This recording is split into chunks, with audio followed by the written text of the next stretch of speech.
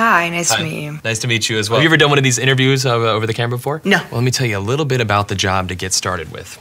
It's not just um, a job, it's sort of probably the most important job. Uh, the title that we have going right now is Director of Operations, but it's really kind of so much more than that. This job requires that you must be able to work standing up most or really all of the time, uh, constantly on your feet, constantly bending over, constantly exerting yourself, a high level of stamina. For how many, like, for how many hours? 135 hours to unlimited hours a week. It's basically 24 hours a day, seven days a week. I'm sure you'll have a chance from time to time to maybe just sit down here and there, yeah? Uh, you mean like a break? Yeah. Uh, no, there are no breaks available. Is is that even legal? Oh, yeah, of course, yeah. Okay. Yeah. So like no lunch. You can have lunch, but only when the associate is done eating their lunch. Now, this position requires excellent negotiation and interpersonal skill. We're really looking for someone that might have a degree in uh, medicine, in finance, and the culinary arts. Associate needs constant attention. Sometimes they have to stay up with an associate throughout the night. Being able to work in a chaotic environment, if you if you had a life, we'd ask you to sort of give that life up. No vacations. In fact, Thanksgiving, Christmas, New Year's, and holidays, the workload is going to go up, and we demand that with with a happy disposition. But when there's time to sleep or Oh, no time to sleep. Yeah, all, all encompassing almost. That's exactly right. 365 days a year? Yes. No, that's that's inhumane. That's that's very insane. The meaningful connections that you make and the, the feeling that you get from really helping your associate are immeasurable. Also, let's cover the salary. The position is going to pay absolutely nothing. Excuse me? No. Nobody's doing that for free. Yeah, pro bono, completely for free.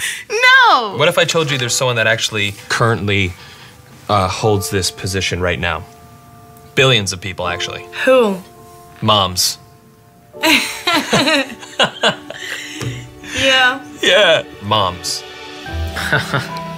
That's awesome.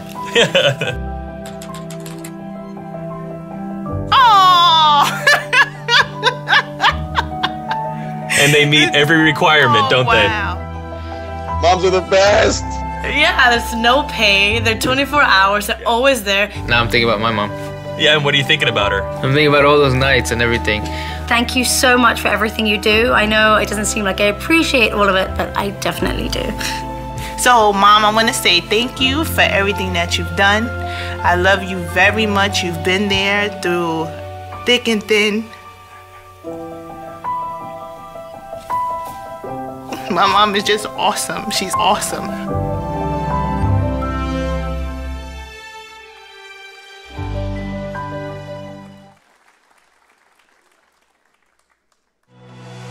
Welcome to Eastside, where we gather, all of us, each in different stage of our spiritual journey, young and old, all races and colors. We don't exist for ourselves, but for people. People that haven't been invited, people that haven't been cared for, who have walked away from God. People have a past that pushes others away. It's about the hurting and those who have lost hope. We gather as one church, not as individuals, not as separate campuses, but as a family pushing towards the same thing, knowing that Jesus was not for the select few, but for all of us. We believe Jesus is the hope in a world of darkness, and it's through his church that the world will find light. We believe who we choose to be today will determine the world of tomorrow. So we have a vision to begin each day with purpose, to open our hearts and minds to learn something new, to let go of our comfortable living to reach the searching, the broken, the hurting, to focus on what really matters, to band together and fight against the darkness. A vision to be the church Jesus called us to be. This isn't just a church. Eastside is a movement of people who gather together with Jesus, declaring, This is for everyone.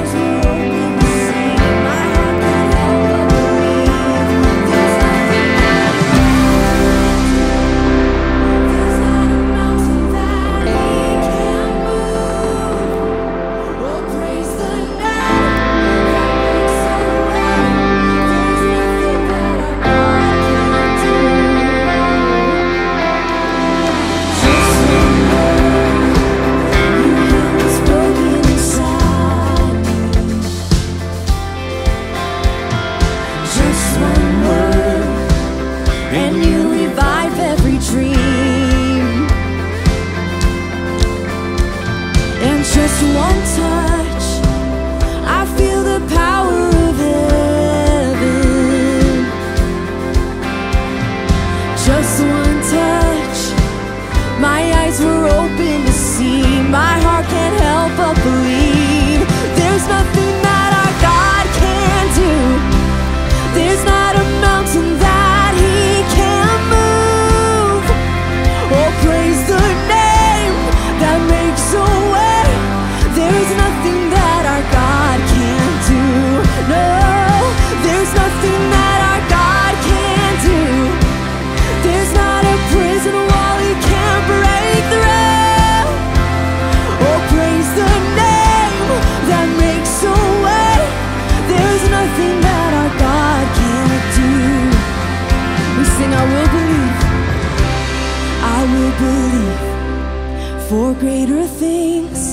There's no power like the power of Jesus.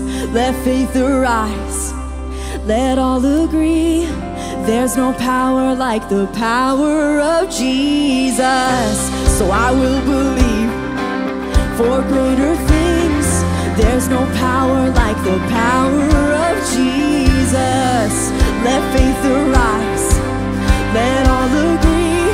There's no power like the power will believe. So I will believe for greater things. There's no power like the power of Jesus. Let faith arise. Let all agree. There's no power like his power. There's nothing that our God can't do. There's not a mountain that he can't move. Oh, praise nothing that our God can do. There's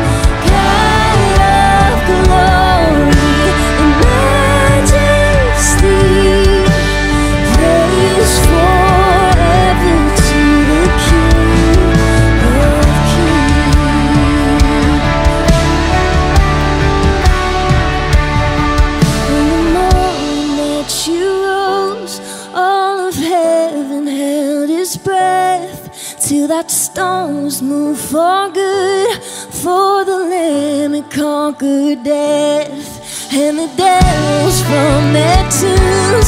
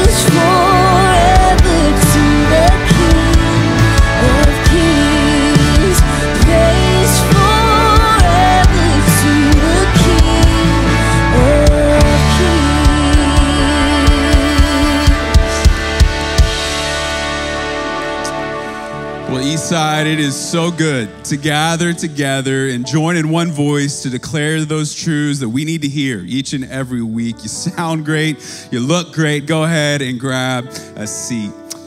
Hey, my name's Jake, and I am the Anaheim campus pastor. And let me be the first to wish you a very happy Mother's Day. Can we celebrate that together? That's so fun. Uh, my wife uh, just gave birth to our fourth child, and every single time that I watch her do that, every single time that I'm in that delivery room watching her do her thing, I have this moment of clarity in my head and in my heart where I think to myself, you could not pay me enough money to do what she just did. All right, moms are superheroes that deserve to be appreciated and celebrated all year long, okay? All year long. Now, we also understand that weekends like this can bring a mixed bag of emotions. Uh, relationships are complicated and they're nuanced. Sometimes they're really difficult. And maybe this year you've been struggling with infertility, or like our family experienced a miscarriage. Maybe you lost a child, or there's just this distance between you and your mom. And the good news is, is that we do not follow a God that is indifferent and distant from our pain. In fact, it's just the opposite. I'd love to read from Hebrews chapter 4 to you. He says, the Jesus, this high priest of ours, understands our weakness, for he faced all the same testings we do, yet he did not sin. So let us come boldly to the throne of our gracious God. There he will we will receive his mercy and we will find grace to help us when we need it most. Friends, we don't have some God that just left us on our own. Instead, he sent his son to experience everything that we have experienced. And so, even though he's all powerful, he's incredibly gentle. And even though he's all knowing, he's wildly patient. And even though he's perfectly holy, he was gracious with you and me. And so, in our moment of deepest pain, in our moment of need, we can come and find the grace and the mercy that we need the most. Every week, we pause to remember just what kind of God it is that we worship. And so, right now, we're going to take this thing called communion. Communion is our reminder of the lengths that Jesus went to to love us into new life. If you didn't grab the communion elements on the way in, you could just raise your hand, and a change maker would love to help you out. If you're participating online, we hope you'll use the elements that are available to you. There's this bread and juice that represents Jesus' body and blood. It just, again, the single greatest act of sacrifice and love this world has ever seen is worth remembering. And if you're here and you're new and, and you're not really sure where you stand or what you believe, we just want to give you these next few moments of quiet as an opportunity to reflect on what you've heard. But please know that I believe today could be the day that begins a journey with Jesus, and your life will never be the same. And you are always welcome here at Eastside. For those of us that are followers of Jesus, this is our opportunity to remember so you can take communion in your own time.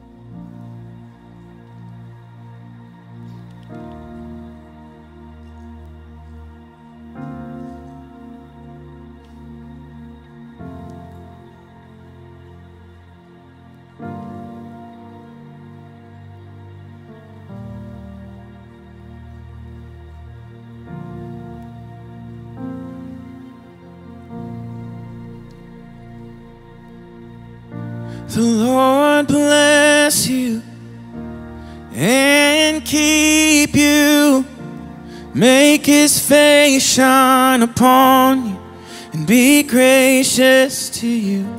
The Lord turn his face toward you and give you peace.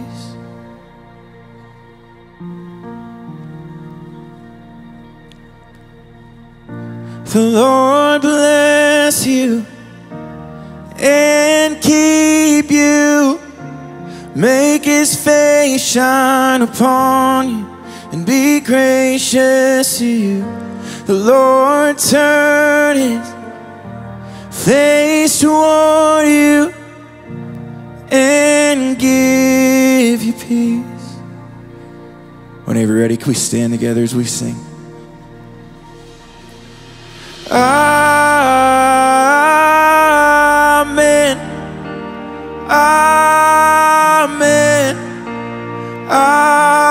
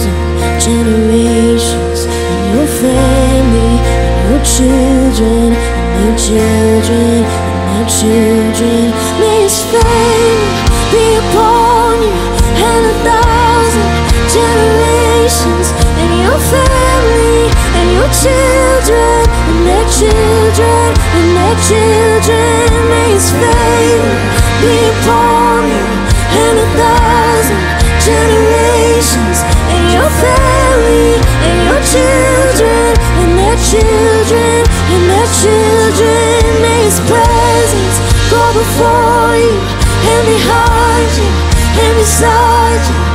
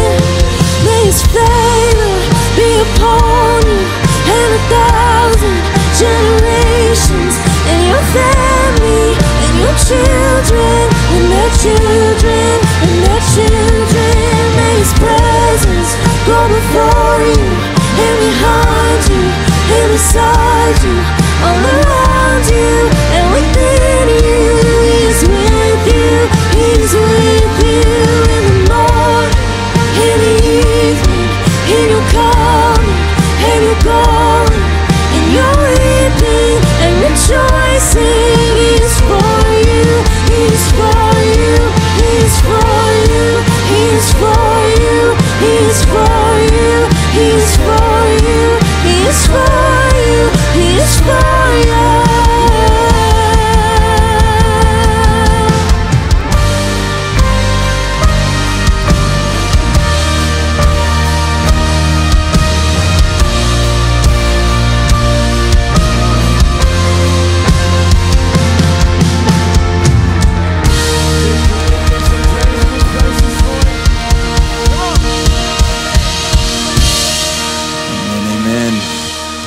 So great to worship together. You can go ahead and take a seat. As you do that, take a look at this video.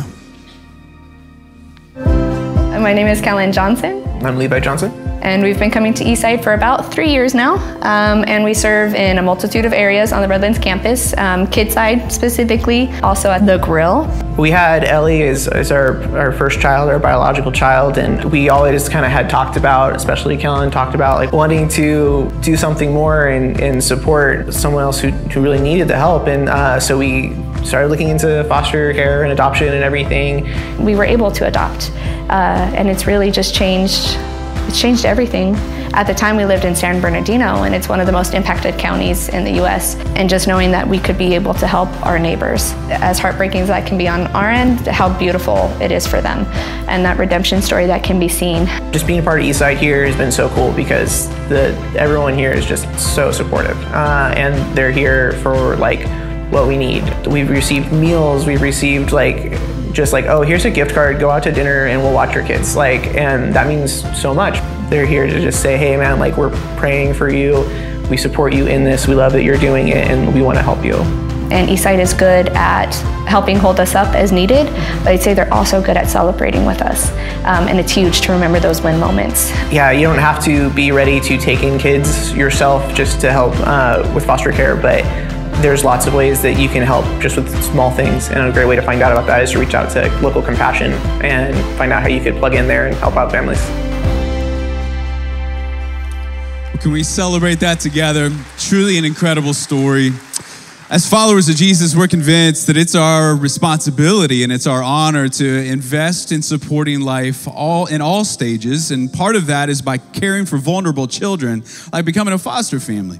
And maybe that's something that you've been considering or even praying over in this recent season. And we, as your church, want to do everything we can to equip you and encourage you in that journey. And so you can go to eastside.com/local, and you can find out about the tools that are available to you. And at our SoCal campuses, there is a foster family info meeting coming up on May 22nd, and you do not want to miss that. We want to do everything we can to support you in that journey.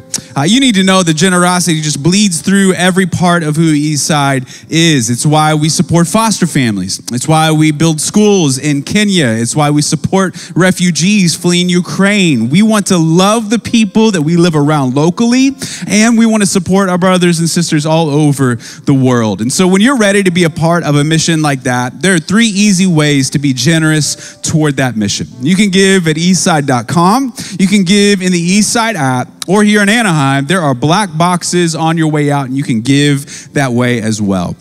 Now, last weekend was so exciting because we had record number of people participating in Next Steps. Uh, Next Steps is the opportunity for you to learn all about Eastside and how you can be a part of it. It is a four-week experience, and you can jump in at any time. You'll meet other people that are new at Eastside. You will learn all about the church. You'll have a ton of fun, and you will go home with your very own Eastside swag, and you will not regret that at all. You can even jump in today. So, for more info about Next Steps, it's eastside.com slash next steps. You can get your questions answered there, and I hope you will jump in very, very soon.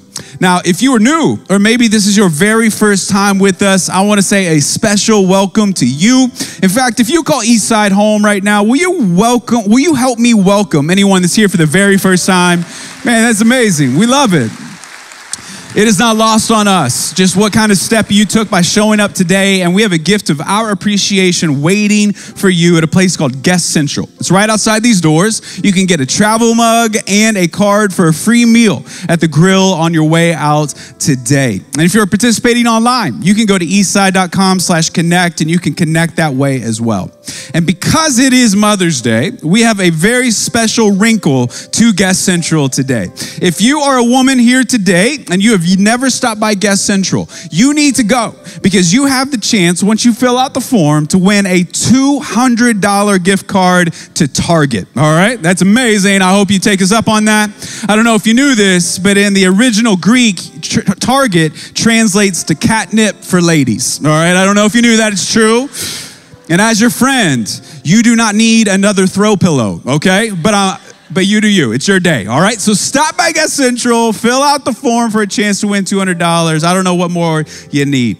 Now, not only do we have some, some prizes for our first time guests, but we also just want to celebrate all the women here at Eastside. Whether you're a mother, a mother figure, a friend, an aunt, a sister, all of you have an impact on your life. And so eh, I need all the ladies right now to pull out your phone, okay? Pull out your phone, open up the camera app, and then I want you to scan the QR code that's gonna be behind me right here, okay? Just scan that QR code. There's a real simple form for you to fill out, and you too can have an opportunity to win a shopping spree yourself, all right? Open the camera app, scan the QR code, fill out the form, and we wanna celebrate you and encourage you with gifts, a shopping spree that you have a chance to win yourself, all right? So do that right now. Again, from the bottom of our heart, we want to wish you a very special Mother's Day. And because as moms, every once in a while, you just need to sit back and laugh, we have this special video for you. When you're feeling lost or scared, when a home cooked meal is all you can think of, who do you turn to? This spring, celebrate the mom in your life with a brand new fragrance. Introducing Mama. Whether she's heading out to the office or staying in to keep the house in perfect order, maybe she's bringing orange slices after soccer practice, or cooking the perfect meal for the grandkids. Hello? Says my order's ready for pickup. I'm here to pick up some mama for my mama. Mama. Whether she's closing deals or opening Capri Suns, Mama. Um, can I just. Mama. She makes that minivan look like a Ferrari. Mama. And spoiling the grandkids never looked easier. I just. Mama. A fragrance for the perfectly unique moms in all our lives.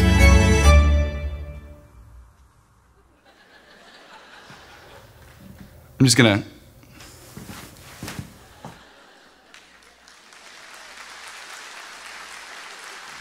What's up, Eastside family? I just want to wish a happy Mother's Day to all of you fantastic moms, mom figures out there in Park Rapids and Bellflower, Redlands, Anaheim, throughout our online family. I hope you feel loved, affirmed, and appreciated on this special weekend. I know Mother's Day has lots of emotions on so many different levels for some of you. For instance, this is my first Mother's Day where my mom's in heaven. And some of you, like me, you're missing your mom, or, or there are other dynamics at play right now. And I just want you to know at Eastside, we see you, we love you, and we care. Today, I'm so thrilled to have one of the greatest moms I know with us for Mother's Day. Jodi Hickerson is also one of our favorite guest speakers. She and her husband Mike planted a thriving, hope giving church in Ventura, California over 11 years ago that is just rocking and marking thousands of lives. Jodi's a sought after speaker all over the country, and she's the mother of three vibrant girls, and we love her. So, every campus, every venue, let's give a great big Mother's Day weekend welcome to Jodi Hickerson. Man, thank you so much. I love being here. Uh, my name is Jodi Hickerson, and I get to teach here at Eastside from time to time, and absolutely love being here with you guys and love this team so much. Want to welcome all of the campuses Bellflower Park Rapids, Redlands, online. Um, it's just so good to be together. And happy Mother's Day again to all of the moms out there, all of the grandmothers, and great grandmothers, um, foster moms, awesome aunts, primary caregivers, spiritual mothers, mentors. Like, can we just give it up for all the women uh, that are just play such a significant role in our lives? I'm so grateful, so grateful. Um, I'm a mom. My husband Mike and I, we do have three daughters. They're 20 and 17 and 14. Uh, so we're going to take a moment right now to pray for me. Um, no, I'm kidding. Uh, no, they're awesome. And there's so many wonderful things about being a mom. There's also hard things, right? Things no one tells you, uh, things that people don't talk about at parties or post on the gram. And uh, sometimes there's really hard seasons. And maybe you, even today, are in the middle of one of those um, hard seasons. I mean, just know God knows and He sees you and He's not forgotten you and He is with you and He is working. And I love that we can trust our God in that way, right in the middle of our stories. You know, one of the things that I think is universal for all moms is the late nights. Can I get an amen? Like the lack of sleep, right? Like there's so many late nights, you know, whether it's, you know, they're newborns and they're up all night long and you're just barely sleeping, or then it turns into like a kid that needs help with homework and they forgot they had this one assignment. And so you're up super late, or they, they're crawling in bed with you in the middle of the night. Isn't that so freaky? It's like you were asleep and then it's like, whoa, there you are. Okay, you know? And it just freaks you out. Or it's the kid that's like, man, they're gonna have a life altering conversation right now, right at bedtime. Like that's when it's gonna happen, and we're gonna go all the way down that rabbit trail. Or you're waiting up for teenagers to come home and hopefully make curfew. Like late nights seem to be just part of the gig, like, like forever in my experience. Oh, and I think that late nights are pretty you know, universal for all of us. Moms or not, we all go through, um, you know, not just late nights as far as the clock goes, but late nights in our soul, late nights of uncertainty. We go through late nights of confusion, late nights of sorrow or anxiety. We go through dark times, right, where we just feel like we're in the middle of it and we can't see where we're going. And we can't see how things are gonna end up, and we can't see the light of day. And so today, I just wanna rewind a couple thousand years and look at a late night in the life of Jesus and his disciples and, and what went down in the middle of the night in this boat out on a lake. And I'm telling you, what happened in this late night was so incredible and so unbelievable and so astounding. Like they could not wrap their minds around what they had just seen. And this, this isn't a story, by the way, it's not a fairy tale or a fable. This is a, a real life account that was written down by three different eyewitnesses who could not believe what they had just seen. So I'm going to read through this story and then we're going to kind of go back and see what we might learn from Jesus today. What we might learn from the guys that were on the boat that night, what we might learn from the experience of a dude named Peter, and allow this late night with Jesus to maybe reach through thousands of years of history into our late nights. Matthew chapter 14 says immediately after this, Jesus insisted that his disciples get back in the boat and cross to the other side of the lake while he sent the people home. After sending them home, he went up to the hills by himself to pray. Night fell while he was there alone. Meanwhile, the disciples were in trouble far away from land, for a strong wind had risen and they were fighting heavy waves. About three o'clock in the morning, Jesus came towards them walking on the water. When the disciples saw him walking on the water, they were terrified, and in their fear, they cried out, It's a ghost. But Jesus spoke to them at once and said, Don't be afraid. He said, Take courage, I am here. Then Peter called to him, Lord, if it's really you, tell me to come to you walking on the water. Come, Jesus said. So Peter went over the side of the boat and walked on the water towards Jesus. But when he saw the strong wind and waves, he was terrified and began to sink. Save me, Lord, he shouted. And Jesus immediately reached out his hand and grabbed him. You have little faith, he said. Why did you doubt? And when they climbed into the boat, the wind died down. Then those who were in the boat worshiped him, saying, Truly, you are the Son of God. I mean, can you imagine being on the boat in the middle of the night on this lake with the wind and the waves and seeing this go down? I mean, I'm guessing these guys, I mean, they told this story for decades at campfires. You're like, you won't believe what we saw, right? But I just want to rewind to kind of the beginning of this account because we picked up this story kind of in the middle of the day. It started, that account started with immediately after this. So we kind of got to ask, you know, immediately after what? And just to give a little context, man, it had been a day for Jesus. Y'all ever had a day? You know, you get to the end of the day and it's like that it has been a day.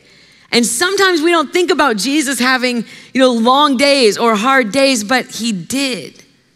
Earlier that day, Jesus has gotten the news that his friend, um, his ministry partner, his, his cousin, John the Baptist, had been killed, unjustly beheaded by King Herod, and he was gone. Like they, they'd already buried him. His friends had buried him, and then they went to tell Jesus about it. And upon hearing that heavy news, Jesus tries to get into a boat and like privately withdraw. Like he's got to clear his head, but there's a crowd of people that see him and they start following him along the shoreline. I'm not talking a few people. This is a crowd of hundreds of people that turn into thousands of people that are following him along the shoreline as he's trying to just get a little space, but he was not getting away. So he pulls onto the shore and they need things from him. And it says that Jesus had compassion on them. And he began to heal people that were sick, and he began to give hope to people who needed it, and begin to help people. And, and so he's doing this for this entire multitude of people. And his disciples finally come to him as evening falls and says, Okay, like let's send these people home. It's been a day. And it says again that Jesus had compassion on this crowd, and he said, We don't need to send them home. They're hungry. Like, let's feed them. And his followers are like, we don't have anything to give them. We've only got these five loaves of bread and these two fish. And Jesus is like, cool, you know, I can deal with that. And so Jesus does another miracle and he takes these loaves of bread and these fish and he begins to pass them out and they multiply and multiply and multiply until everyone has had as much as they wanted and they still had leftovers. I mean, Jesus, this had been a day where he's giving and giving and giving and giving. And then immediately after this, Jesus insisted that his disciples get back into the boat and cross to the other side of the lake while he sent the people home. After sending them home, he went up into the hills by himself to pray. Night fell while he was there alone. Now, obviously, we, we are not Jesus. And I don't think any of us have had a day where, you know, our cousin got beheaded and we've also miraculously healed people who were sick and fed thousands of people.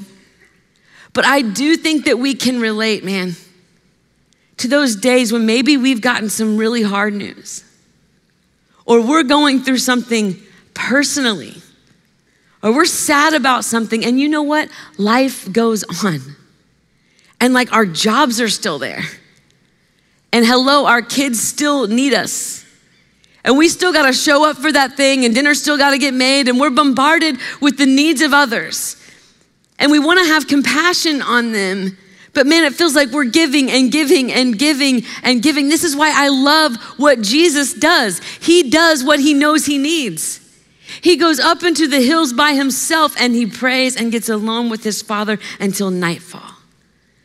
And man, I want to encourage every single one of us here who, in our late nights of receiving hard news, in our late nights of pouring out, in those late nights where it feels like we're showing up again and again and again, even though we're dealing with some sort of undercurrent of grief or heartache or, or sadness ourselves, man, we got to remember to get alone with God. It is so important. Setting aside time to get alone from God, to get alone with God, to hear from His Word. Man, to unburden ourselves. It had been such a day for Jesus, and He knew He needed to get with His Father for us to be alone with God, to listen and, and to cry and be strengthened and to be sustained. Like, this is our lifeline. None of us, we were not meant to do life apart from Him and apart from His power. And we cannot keep pouring out and pouring out and pouring out without spending this time alone with God to allow Him to pour into us. His truth, His guidance, His strength, His love, His grace, His spirit, man, we need it.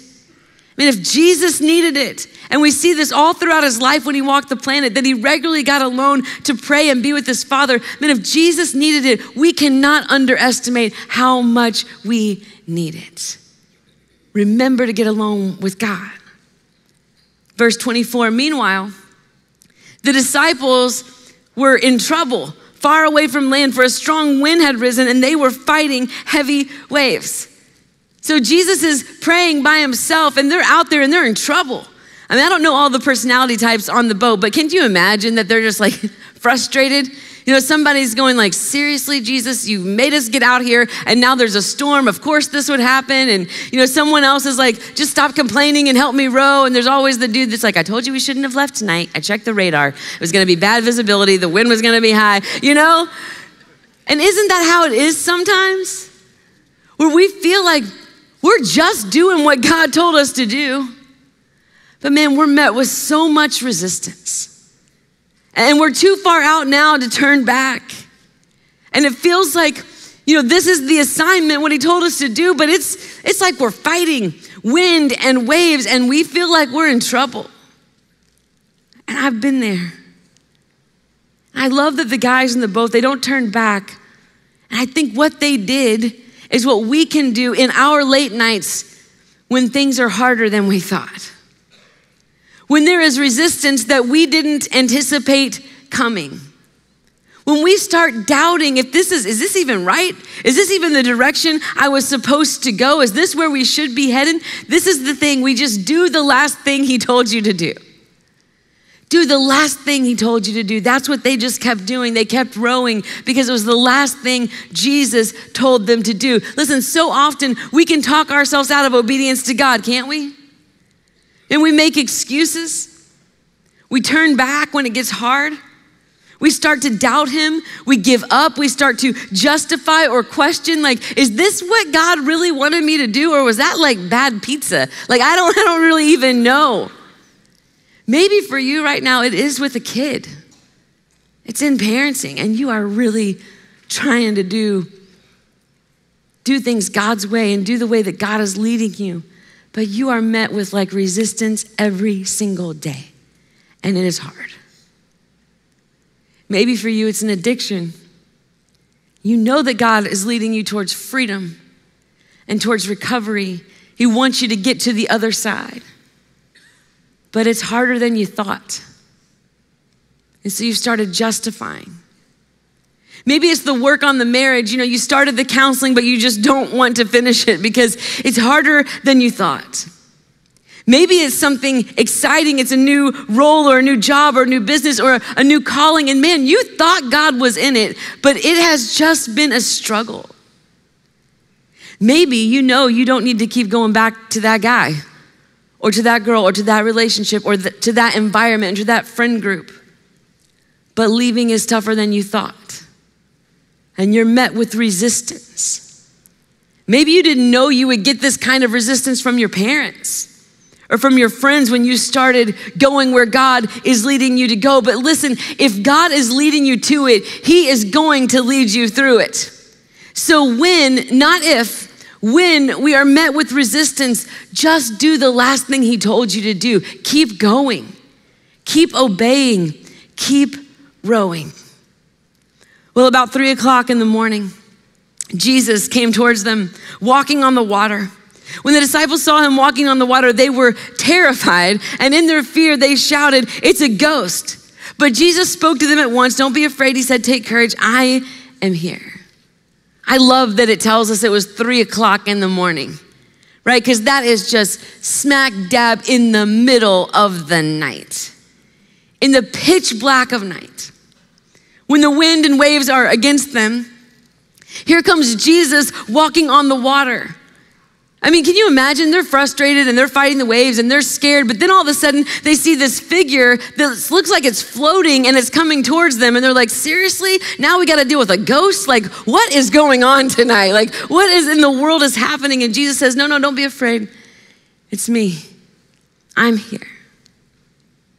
And man, in our late nights when it just seems pitch black, we don't know how this story ends because we're in the middle of it. And this journey feels long and harder than we thought. When we don't know when we're going to see the light of day, right in the middle of it, look for Jesus to show up in unexpected ways. Because he does, and he will. And sometimes, just like the guys on the boat, we don't recognize him at first, but he is moving towards you. He has not forgotten you. It's in the unexpected text from a friend who was just checking in because God had put you on their heart and they sent you that verse. It's the random check you weren't expecting. It's, it's the moment in worship where that lyric just hit different in your soul. It's when you think you're the only one in the room and God is speaking to you. It's the conversation you didn't even know you needed or would ever have. Through the generosity of a neighbor or a comfort of a, of a nurse or a teacher that goes above and beyond. It's the prayers of your mothers and your grandmothers and your friends and your family. It's the opening of doors and the closing of other ones. It's the timing that you thought would be different, but turns out it's right on time. You see, Jesus is always working, He's always moving towards you, even in the dark, and He will show up in unexpected ways and say, Hey, don't be afraid, it's me. That's me. I'm here for you. Look for it. Look for Him to show up in unexpected ways. So, 3 a.m., pitch black, Jesus shows up, freaks them out, and then calms them down. And then it gets real crazy, okay? Then Peter called to him and said, Lord, if it's really you, tell me to come to you walking on the water. Come, Jesus said. So Peter went over the side of the boat and walked on the water toward Jesus. I mean, come on, this dude is crazy. I mean, he is just, there's wind and there's waves and there's Jesus walking on top of water and he's like, can I try? Can I, can I try? Like, tell me to come. And Jesus says, Come. And he steps over. Can you imagine the side of the boat? He's standing up on the water and he's taking steps, walking on water towards Jesus. Now, because we know the end of the story, the rest of the story, we know what happens. And man, I have heard preacher after preacher over the years just skip to that part, like, you know, and then Peter took his eyes off the Lord and he started to sink. And he started to focus on the wind and the waves and, and he started to sink. But hello, Peter got out of the boat. Like Peter was the only one that had the faith to say, Can I step over and be a part of this miracle? I mean, Peter exhibited more faith than anyone else on that boat. He, he stepped over the side of the boat, let his bare feet hit the water, and he walked towards Jesus. And some of us need to just be inspired today or emboldened today that in our late nights of uncertainty, in our late nights of the unknown, in our late nights of, you know, never done this before and this seems a little bit crazy, to step out in faith into the unknown. Some of y'all need to hear today take that risk, do that thing, step out in faith into the unknown. I love that Peter said, you know, Lord, if it's really you, tell me to come to you. And I think that's so important because if we're gonna step out in faith, if we're gonna risk, we gotta know that God is in it.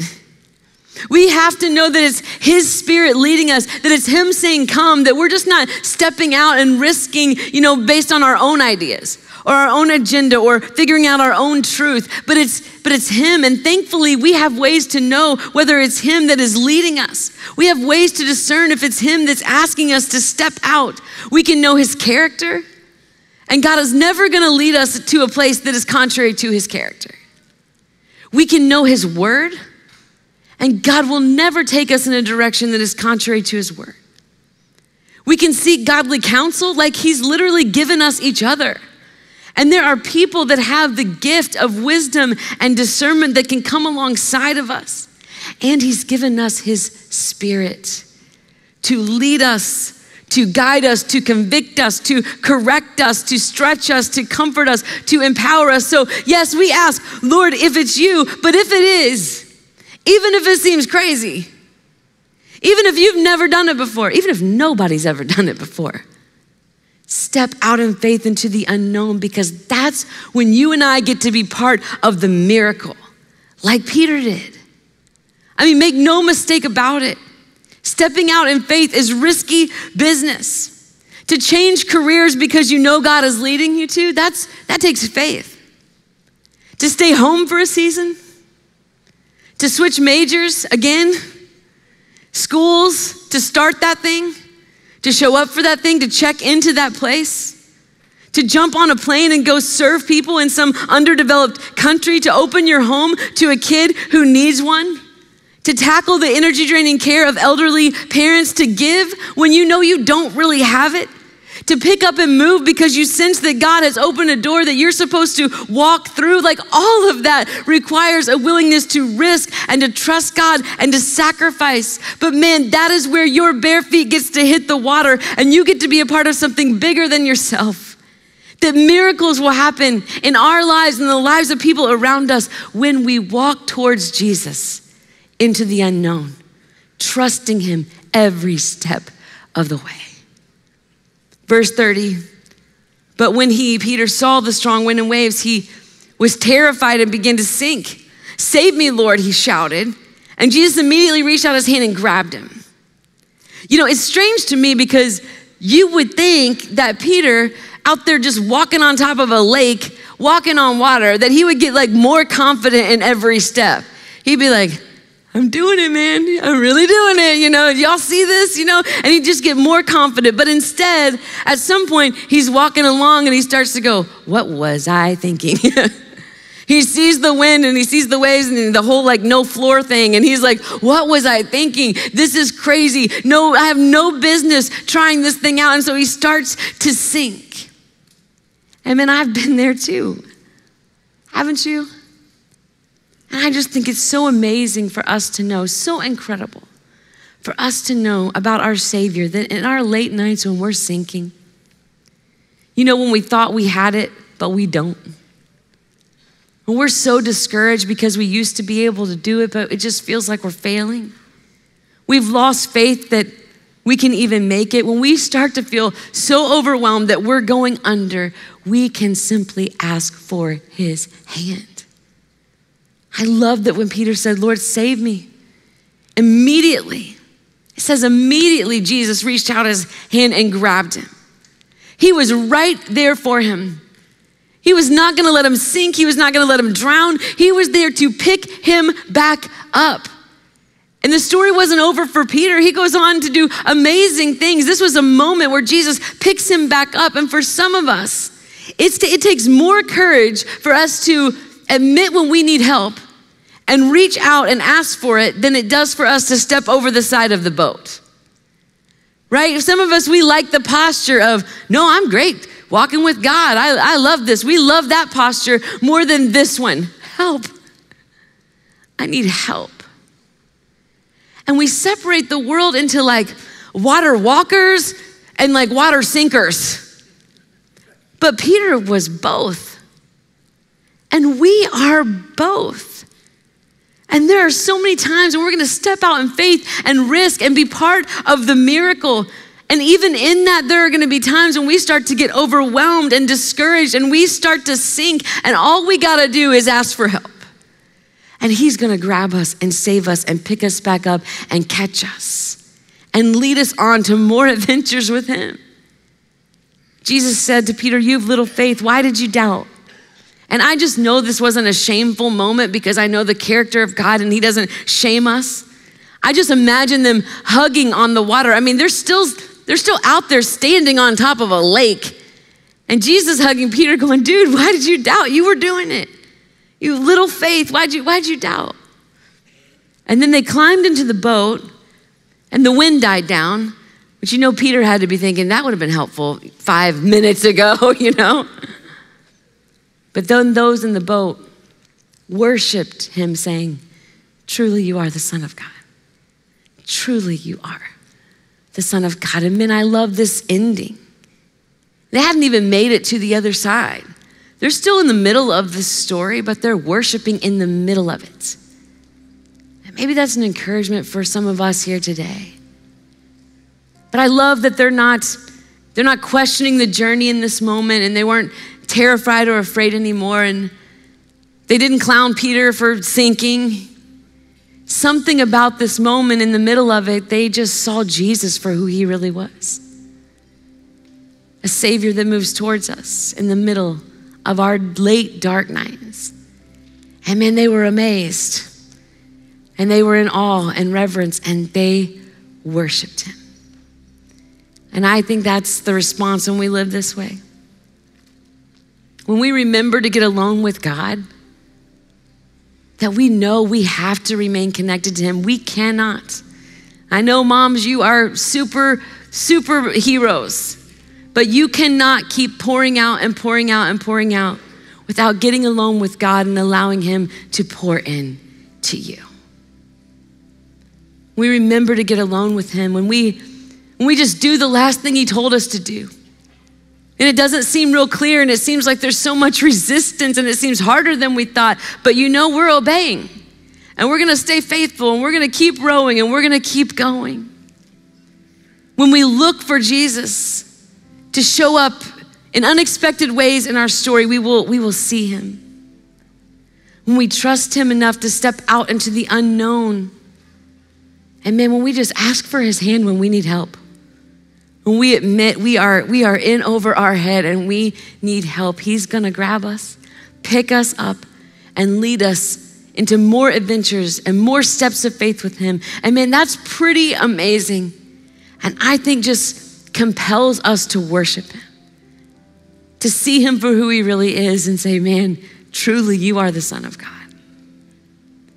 Let me pray for us. I thank you, Jesus, for being in the middle all of our stories, being in the middle of our late nights. I thank you for being a Savior that does move towards us, that reminds us, hey, I'm here, don't be afraid, it's me, it's me. Thank you. Thank you that you do go before us and behind us and beside us and within us, all around us, you are with us. We are grateful. Thank you so much for that, Jesus.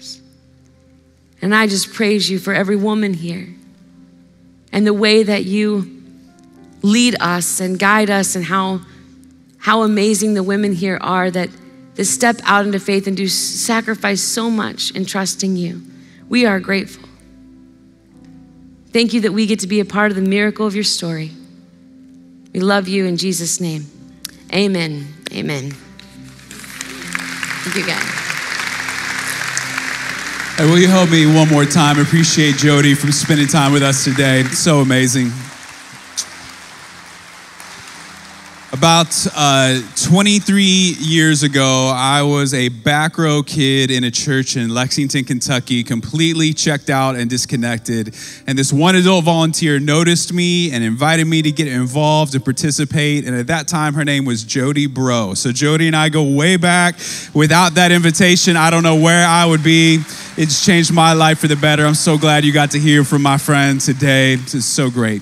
Hey, you may be wondering right now, man, I, I want that kind of hope and I want that kind of mercy and I want that kind of grace. And I don't even know how I would respond if I did respond. Well, today we get to celebrate with someone that is going all in. This is your example. You could turn your eyes to the baptistry. Here we go. Well, this is Darla, and uh, Darla's first time here at Eastside was at Easter. And it was since Easter, she's just felt the Holy Spirit moving and stirring in her heart. And she knew that she needed to make this big step towards baptism.